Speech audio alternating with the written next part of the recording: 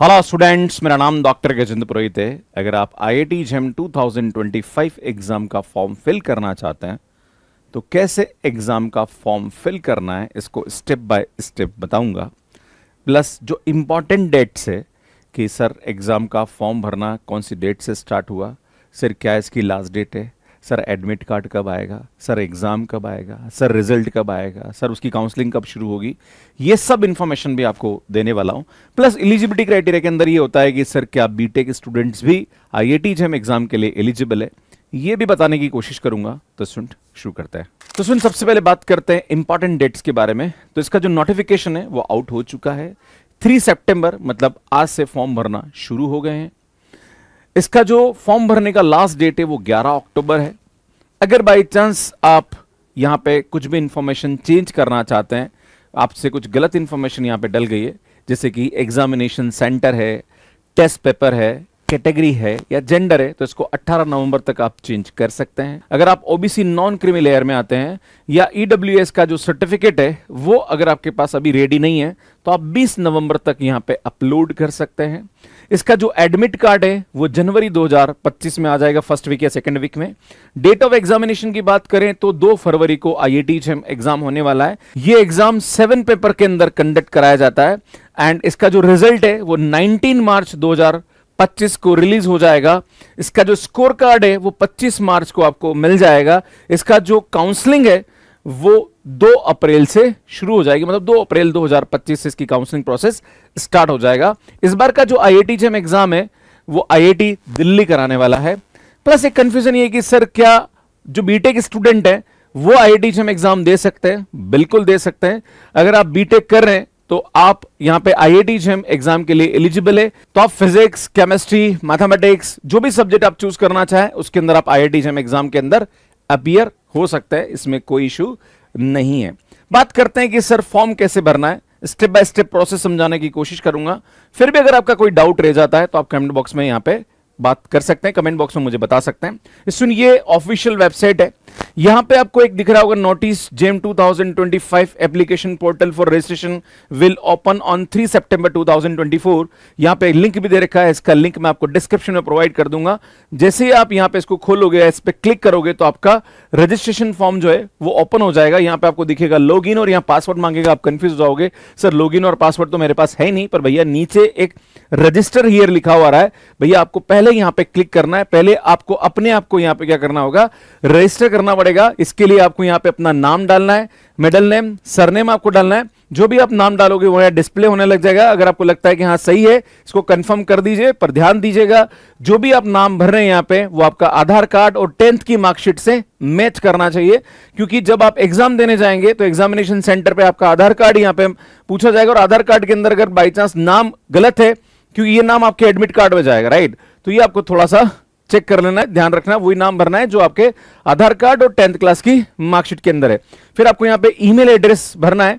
Email address आप वही डालना है जिसका एक्सेस आपके पास है, क्योंकि जब आप फॉर्म फिल करेंगे तो ये आपको ईमेल वेरीफाई करवाएगा और आपका, जैसे यहाँ पे रजिस्ट्रेशन कंप्लीट होगा तो आपके पास एक ईमेल आएगा जहाँ पर आपका एनरोलमेंट आईडी आने वाला है और एक ओटीपी आएगा तो आपके पास वही ईमेल आईडी यहाँ पे डालना है जिसका एक्सेस आपके पास है। तो वो ईमेल आईडी आप डाल दीजिए, इसको कंफर्म कर दीजिए, जो भी कंट्री आपको लिखना है। फ़ोन नंबर आपको यहाँ पे करना है है ना? उसके बाद कंफर्म फ़ोन नंबर करेंगे आप, क्योंकि फ़ोन नंबर भी आपको वही डालना है, जो कि आपके पास है, क्योंकि उस पर भी ओटीपी आएगा और वो भी आपको वेरिफिकेशन के लिए बोलेगा राइट उसके बाद फिर आपको यहाँ पे पासवर्ड सेट करना है। पासवर्ड आपको ऐसा सेट करना है, जो कि इजी टू आपको रिमेंबर हो, है ना? ऐसा नहीं कि पता पड़ा कि ऐसा पासवर्ड सेट कर दिया कि आप भूल ही गए, है ना? जैसे मान लीजिए आपका नाम अजय है तो ए जे अंडर फिर आप वन टू थ्री या जो भी आपका मोबाइल नंबर का एंड डिजिट या डेट ऑफ़ बर्थ या ऐसा कुछ भी वॉट एवर यू वॉन्ट आप इसको डाल दीजिए और उसको यहाँ पे क्या कर दीजिए आप कंफर्म कर दीजिए, जो आप यहाँ डाल रहे वही, और पासवर्ड को याद रखना है, भूलना नहीं, क्योंकि जब आप फॉर्म भरने जाएँगे, वहाँ पे पासवर्ड की ज़रूरत पड़ने वाली है। फिर यहाँ पे कैप्चा है थ्री माइनस वन तो टू उसकी वैल्यू है, उसको यहाँ रख दीजिए और रजिस्टर पर जाके आप क्लिक कर दीजिए। जैसे आप करेंगे तो आपका यहाँ पे रजिस्ट्रेशन सक्सेसफुल हो जाएगा राइट तो उसको आप कंटिन्यू करेंगे जैसे ही कंटिन्यू करेंगे तो आ, आपको एक बार जैसे कंटिन्यू करेंगे उसके बाद आपके पास एक ईमेल भी आएगा तो आपको अपने ईमेल आईडी चेक कर लेनी है। जैसे आप ईमेल आईडी आप खोलोगे तो आपको यहाँ पे आपका एनरोलमेंट आईडी और एक ओटीपी आएगा। तो एनरोलमेंट आईडी आप यहाँ से याद कर लीजिए क्योंकि जब भी आप आने वाले समय में इस फॉर्म को जब आप खोलोगे एडमिट कार्ड आएगा आपका रिज़ल्ट आएगा जो भी आएगा वो इस एनरोलमेंट आईडी से होने वाला है। तो इसको आपको याद रख लेना है सेव कर लेना है ठीक है ना? फिर आप क्या करेंगे सुन? अब वापस सेम पेज पे चले जाएँगे। मैंने आपको बोला था यहाँ से रजिस्टर करना है। अब आपके पास भैया एनरोलमेंट आईडी आ चुका है।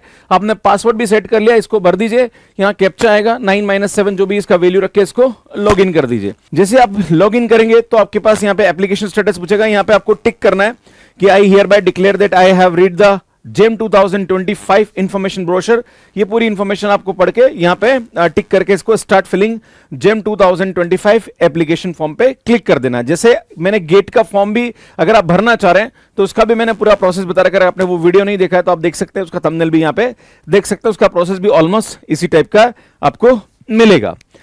देन स्टूडेंट यहाँ पे आपको एग्ज़ाम डिटेल डालने की आप एग्ज़ाम एक पेपर में देना चाहते हैं या दो पेपर में देना चाहते हैं?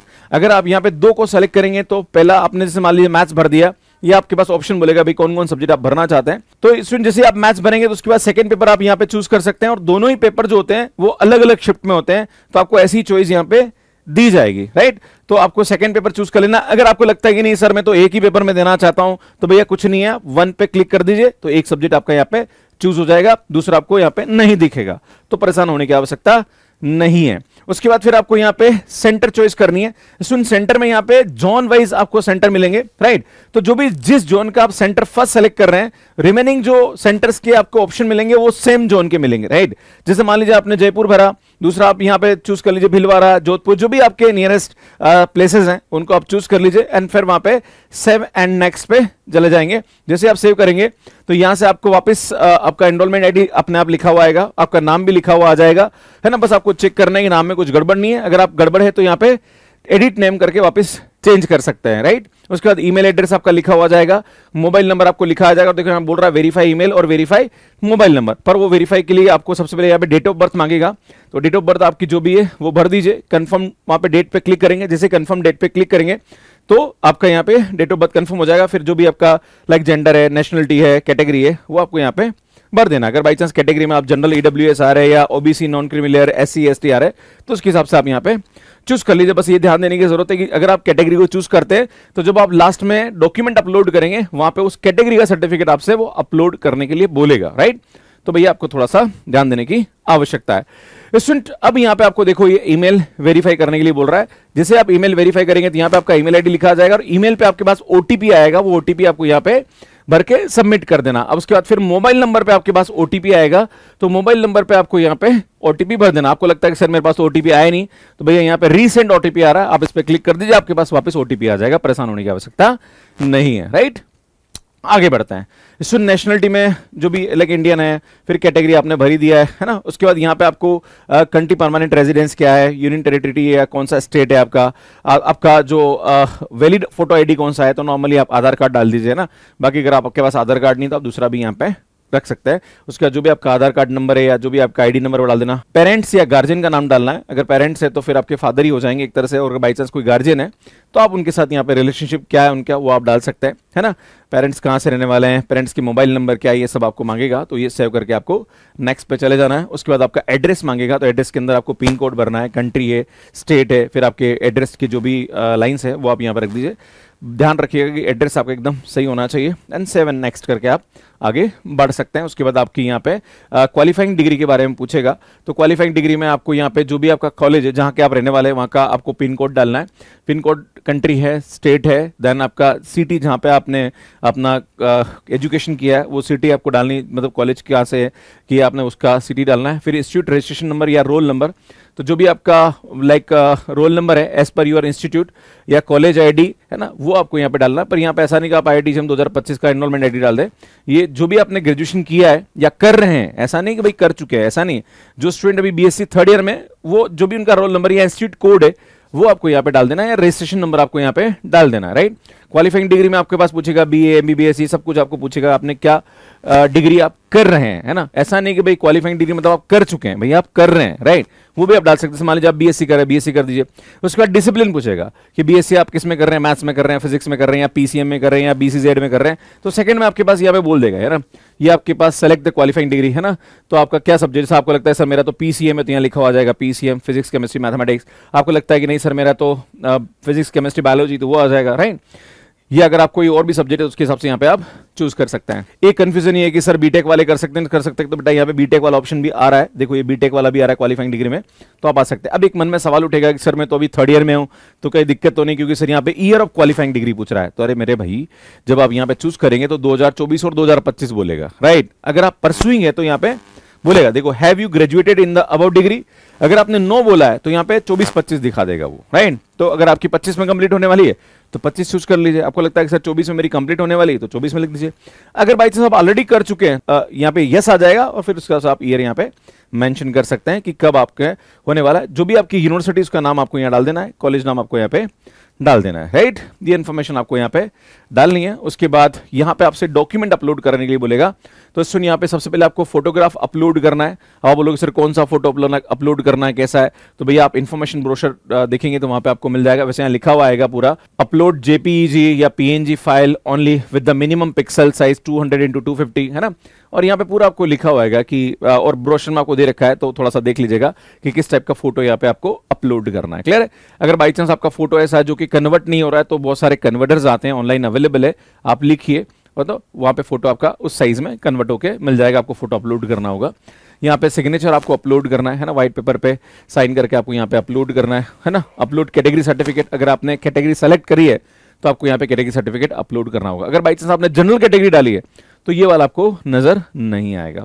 आपको कहाँ से इंफॉर्मेशन मिली है, इसके बारे में आप डाल सकते हैं, है ना? आप हमारा यूट्यूब चैनल भी डाल सकते हैं राइट फिर यहाँ पे जो भी आपने भरा है वो यहाँ पे व्यू एप्लीकेशन या रिव्यू एंड सबमिट आ जाएगा। तो जैसे आप रिव्यू एंड सबमिट पे जाएँगे, फिर डिक्लेरेशन मांगेगा। डिक्लेरेशन पे वो पूछेगा कि भाई आपने जो इन्फॉर्मेशन भरी है वो बिल्कुल सही है समथिंग लाइक दैट तो वो आपको टिक करके फिर फाइनल इसको क्या कर देना है? सबमिट करना है। सबमिट करते आपको पेमेंट का ऑप्शन आ जाएगा। इसमें अगर आप फीमेल कैंडिडेट है या एस सी एस टी या पीडब्ल्यू कैंडिडेट है तो आपको एक पेपर का नौ सौ रुपए भरना है। और अगर आपके दो पेपर है तो आपको बारह सौ पचास भरना है। अगर आप यहाँ पे अदर कैटेगरी में लाइक जैसे जनरल है या ओबीसी है तो उसके लिए आपको वन पेपर के लिए 1800 पे करना है और दो पेपर के लिए आपको यहाँ पे पच्चीस सौ पे करना है। The fees for changing category अगर बाई चांस आप कैटेगरी को चेंज करना चाहते हैं, जो कि मैंने आपको बोला था कि नवंबर तक आप कर सकते हैं वाला काम, है ना?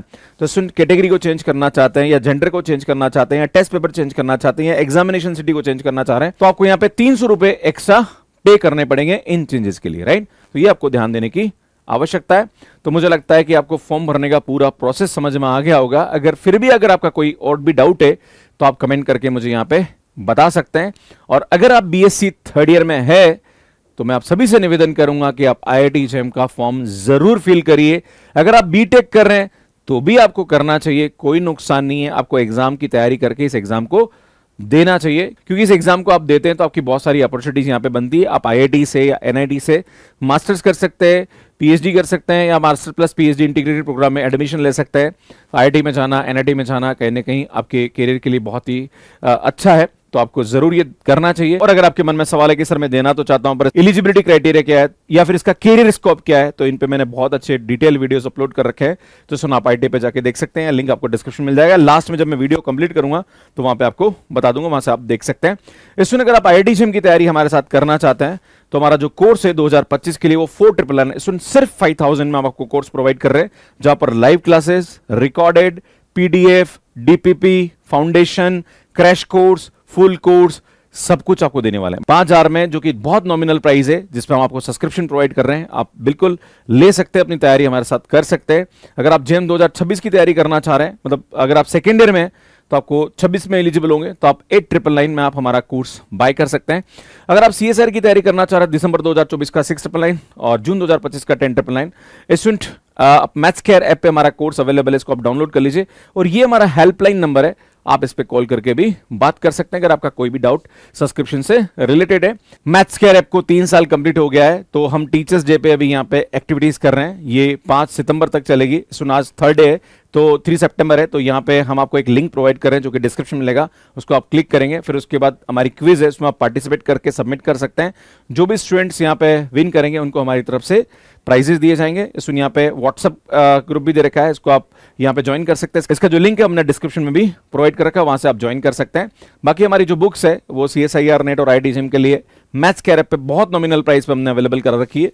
तो वहाँ से आप इनको बाय कर सकते हैं। आपको और भी अपडेट चाहिए इससे रिलेटेड तो आप हमारा टेलीग्राम ज्वाइन कर लीजिए। यहाँ पे हम बहुत सारी अपडेट्स देते रहते हैं। सो हमारा जो मैथ्स कैर ऐप है, ये एंड्रॉइड एंड आईओएस पे अवेलेबल है। इसको आप डाउनलोड कर सकते हैं। कैसे मैथ्स कैर ऐप पे सब्सक्रिप्शन लेना, इसका वीडियो आप यहाँ पे जाके देख सकते हैं। स्टूडेंट अगर आप आई से एग्ज़ाम के बारे में और भी इंफॉर्मेशन चाहते हैं कि इसका पैटर्न क्या है सिलेबस क्या है, क्या एलिजिबिलिटी क्राइटेरिया है, ये सब पूरी डिटेल इन्फॉर्मेशन कैरियर स्कोप्स क्या है, इस पर यहाँ पे हमने डिटेल वीडियो अपलोड कर रखा है तो यहाँ पे जाके आप देख सकते हैं यहाँ जाके चैनल को सब्सक्राइब कर सकते हैं। आप सभी का बहुत बहुत धन्यवाद। Thank you bye